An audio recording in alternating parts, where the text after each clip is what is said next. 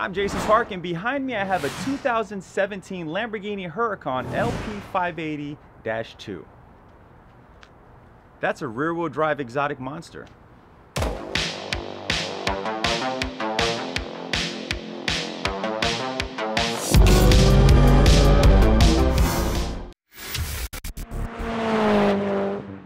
My name is Brian, and this is why I drive a 2017 Lamborghini Huracan.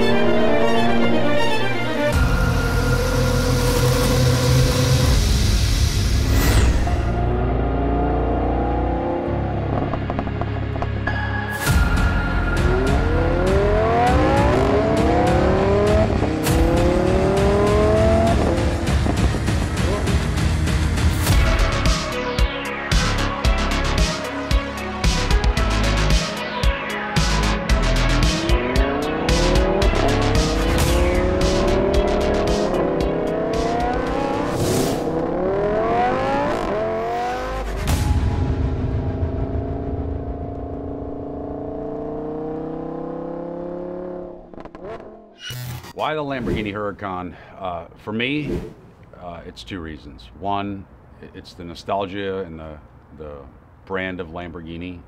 Uh, and second, it's a childhood dream come true, something I've wanted forever. So this is a, a, a pretty rare color. This is Grigio Telesto, which uh, this one is actually uh, the same color as my old one, which is why I got this one. I had a 2013 Gallardo that was also this color. So this is uh, uh, my my brand. This is my color. So this car's got quite a few mods. Um, we'll start with uh, ground up. So the wheels are AGL wheels that I had custom made. Uh, these were supplied by Butler Tire. Uh, the car is lowered on Velocity AP springs. The uh, let's see. The brakes are uh, Girodiscs installed by Eurofed. Um, the rear bumper is a Vorsteiner rear bumper supplied by Sola Motorsports. The rear wing, Vorsteiner wing, uh, carbon fiber supplied by Butler Tire. Side skirts, uh, Vorsteiner as well. Window tint by Tint World. Um, on the inside, uh, we've got some modifications as well. We've got carbon fiber vents that were done by Hydro Dips. Uh, we've got um, a custom stereo that was installed by Cartoons. We've also got, um, uh, let's see, engine, so it, it is tuned it's got intake on it. Uh, let's see. Um, exhaust is by Avior. The exhaust tips were custom done by Powder Coaters of Atlanta. Taillight tint done by me. Probably my fondest memory is, uh, it's probably two actually. So the first one was the first rally that um, my wife and I went on together down in Florida. It was a Lamborghini rally. Uh, that was 100 Lamborghinis going from Miami to Tampa uh, in, in the fastest way possible. It's the first time I'd really gone on a rally. Went with a bunch of Lamborghini owners uh, of Atlanta here. Uh, about 14 of us went. That was just something that I never experienced with any other type of car. I've owned Corvettes and, and everything else, and the Lamborghini community is something different. Uh, second one would probably be.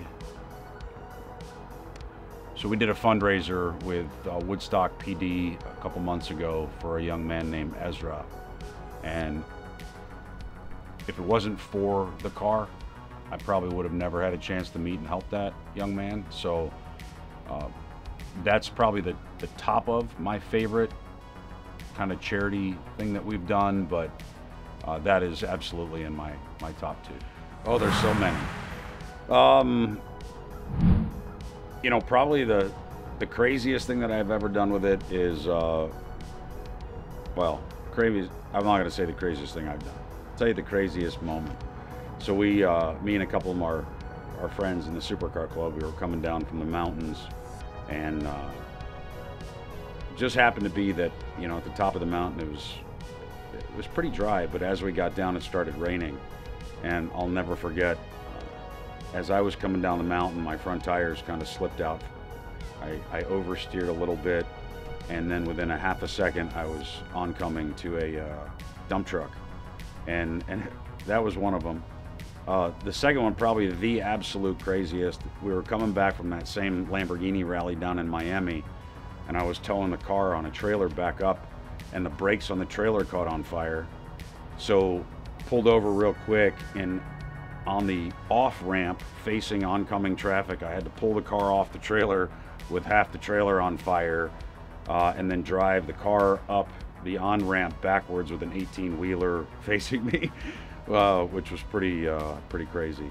And as the wheel bearing caught on fire, it lit the brakes on fire, and then the you know the shit around the brakes caught on fire, and flames are coming up through the uh, the um, the wheel well. So as I wake up from this this, I mean I was knocked out, I was tired as hell, and I see the flames in the side mirror.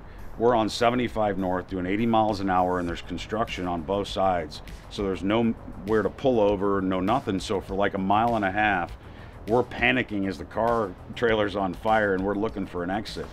So finally we find an exit and as soon as we hit the exit like we were just off the highway like i was like stop stop stop so i jump out we're unbuckling the car flames are shooting out i had nothing to put it out with so in order to get in the car. I had to open the door, climb over the the fire. it was uh, it was something else.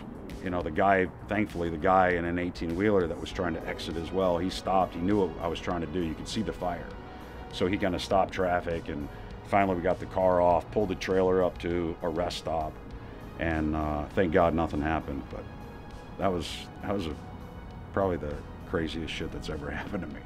So I, I think most of the guys, at least that I socialize with, with the supercars and exotics here in Atlanta, um, we don't we, we don't look at it maybe the same way other people would. So we look at the cars as more of a Swiss Army knife. You know, if you want to take it out to a fancy place and you know have black tie events and stuff like that, that's fine. Some people use them for that, but you can also use them. You know, they're a great way to meet people. You know, I go everywhere. People come up, hey, can I look at your car? Can I talk to you? What do you do? You know, you got any advice for me?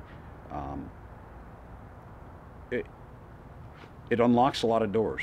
You know, it's it's put me in situations that I probably wouldn't have been in if it wasn't for the car. I've met people that I probably would have never met. Business opportunities that, um, you know, have come about through meeting those same people. Um, the car's a Swiss Army knife. It's fun to drive. You can go and drive it daily. Um, it drives super easy. In fact, uh, it's probably blasphemy to say it, but probably as easy as a Toyota Camry, just faster and louder. Um, you know, and, and I think the personal achievement, I think that's the other thing for me. You know, this is something I always wanted. It's something I worked really hard for. Um, fought a lot of ups and downs, but in the end, this was my reward to myself. It, it, it's definitely an emotional experience. Um, you know, sometimes uh, it's pride. I think, you know, you feel good driving it. But I think sometimes it, it's also, you know, the fun aspect. You know, my favorite thing to do in the summer is hit the highway right as the sun's going down, windows down, radio up as loud as I can, and just drive and that's kind of my meditation. Um, I think the other one uh, that it kind of puts in me is responsibility. You know, I think it, you know, having such a visible car that most people would admire, and you know, even down to the kids that come up and say, "What do you do?" You're going to have two types of owners, and and I know them both. Those that use it as an opportunity to talk to people and meet people and better people and and better themselves. And those that look down on those people and they don't want to talk to them and they don't want to engage with them. So I think the responsibility that we have, or at least that I feel I have, is to represent, you know, properly what some of these kids want to be when they grow up and what they want to have. You know, I don't want them to think that, you know, they grow up and they have a supercar and they have to become an asshole. You know, I want them to know that they should use it for good and help people just like we do. So, uh, advice for buying one: um, make sure you know what you're buying. Um, I've had a lot of friends that you know buy these cars sight unseen. Some get lucky, some absolute horror stories. Um, I got a buddy right now, had his car in the in the shop 16 weeks. I think he bought it and a week later went in the shop and he hasn't seen it since. You know, a lot of it comes down to doing a proper pre-purchase inspection, buying it from someone where you know the history. Um, you know, don't just trust you know auto check, you know, or Carfax uh, alone. Look at them both. Sometimes there's reporting issues. Um, what do I what do I say to the young kids out there that want one? The only thing stopping you is you. Um, you know, parents ask me what what did you know what advice do you have for my kid, and uh, you know everyone's gut response is you know go to college, stay in school, this that. One thing that surprised me, most of the supercar owners that I know and I've met, most of them are entrepreneurs. So I would say follow your dreams and wherever that leads you, it's going if you're good at it and your dream is what you put your passion into, you're going to be successful and you'll have everything you want. Time for a little POV action.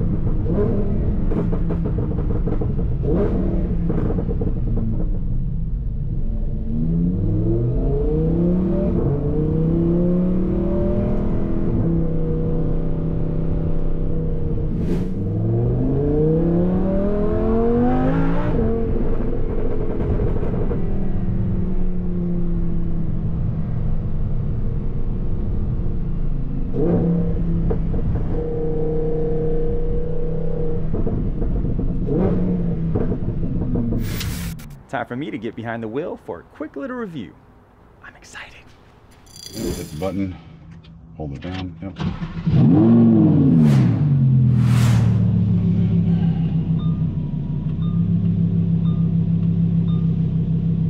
Okay, so there is no drive button or mode. Okay. You just put it into gear.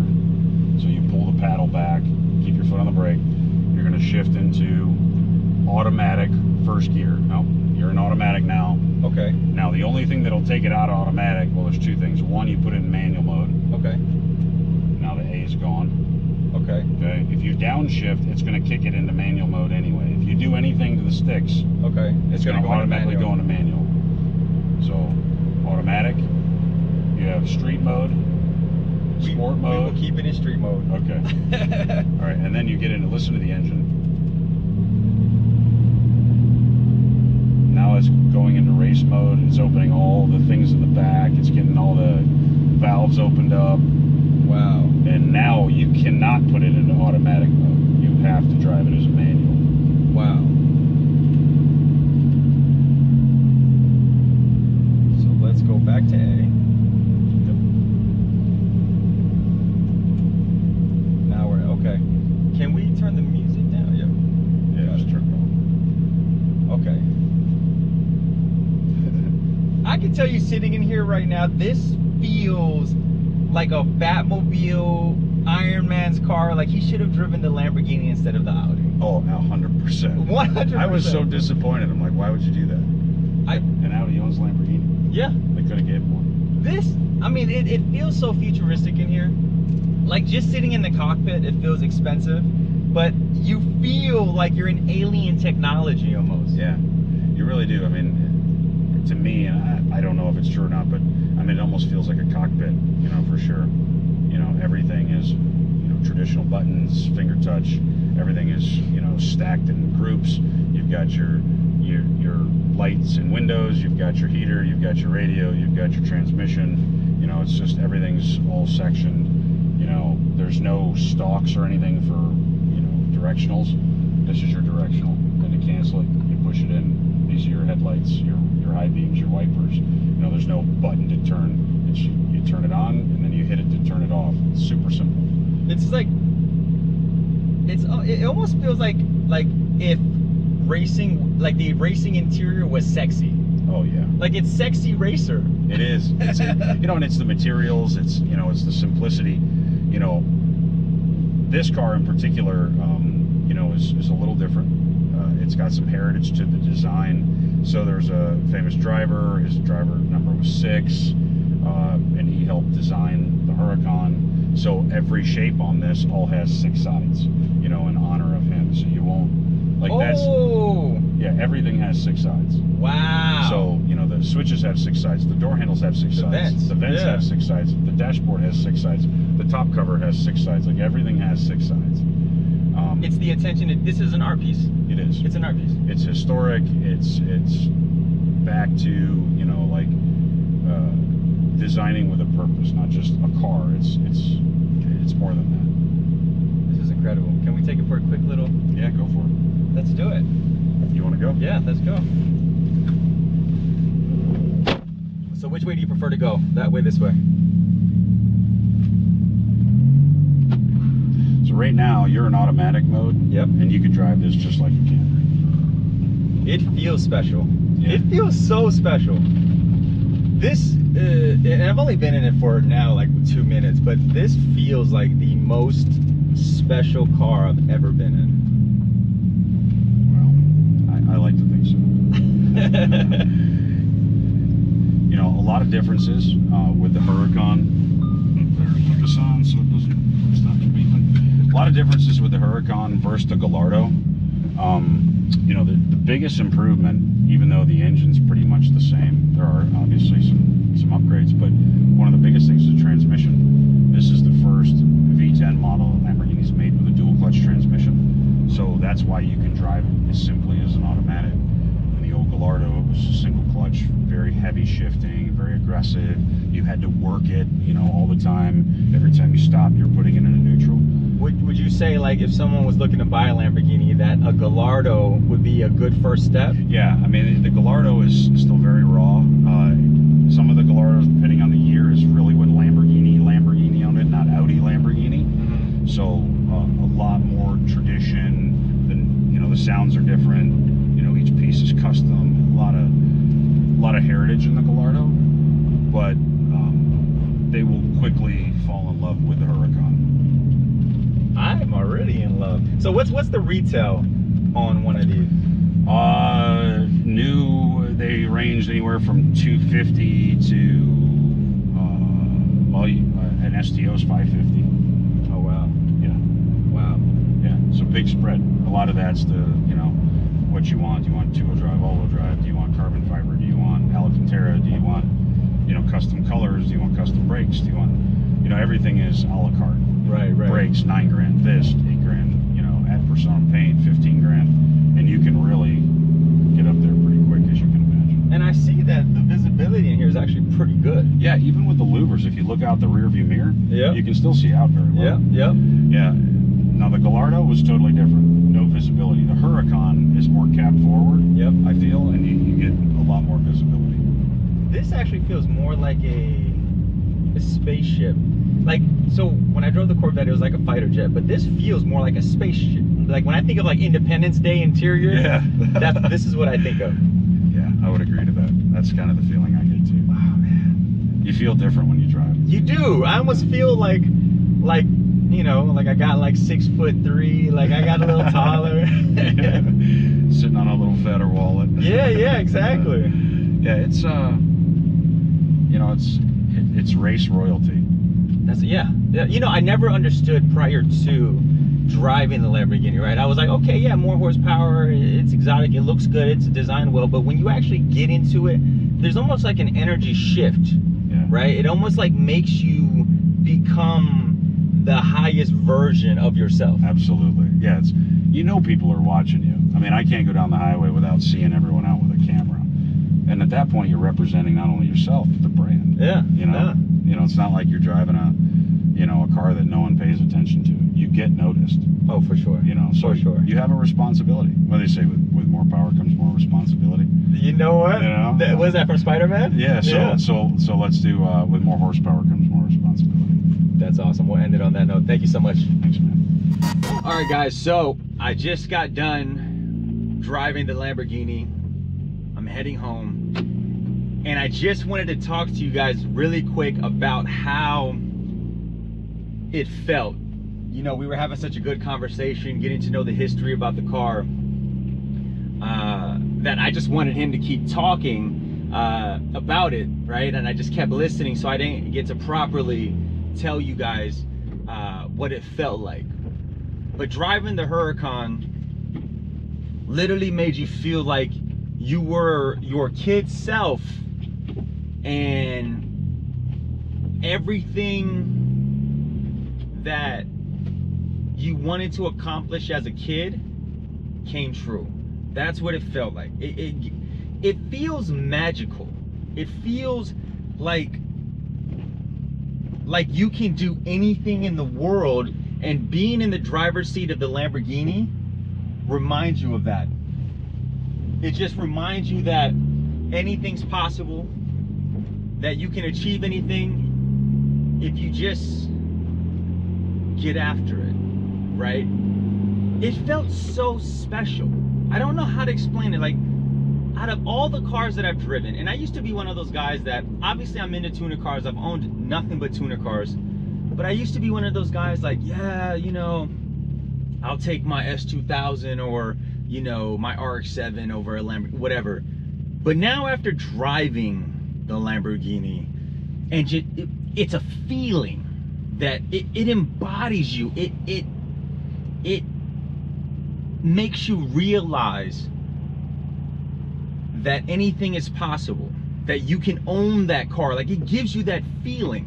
It makes you feel like a better version of yourself. It makes you feel like almost like a super a superhero version of yourself.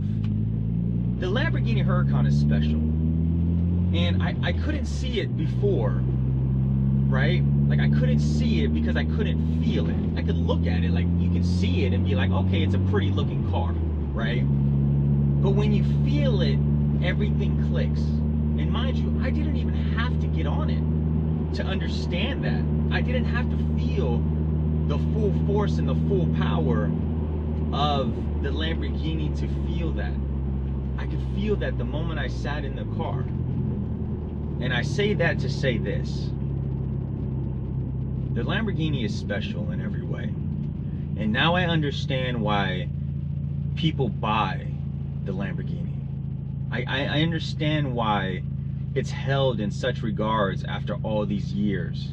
I understand why, you know, it's in a level and a league of its own because it's not like your Skylines or your Supras or your RX-7s. It's completely different. You're literally driving an art piece everywhere you go. It's artistic in every way, from the gauge cluster to the steering wheel to its its heritage, the way it sits you back, the seating, the the roof line. Like when you look in there, and when I said, "Hey, this kind of reminds me of like Independence Day spaceship," I mean that in the best, sexiest way. It just felt out of this world. So if someone's looking to buy a Lamborghini Huracan and you have the money to do so, I highly recommend that you do. Or at least take it for a test drive so you can feel how special it truly is and how it shares uh, that feeling with the driver and its passengers. Until next time. Fast way, I say, oh I'ma go vibe and fuck all my move I'm a gang bitch, wish I got this Leo, get the door. Got it. Sometimes you have to become the monster to save the one you love.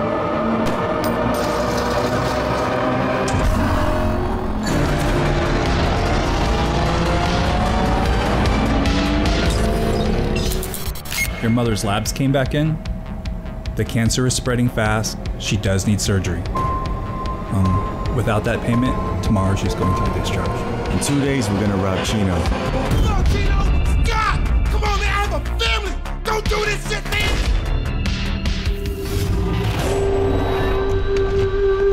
Mean, there's got to be another way. There is no other way, Leo. If we don't rob Chino right now, my mom is as good as dead. I'ma go vibe.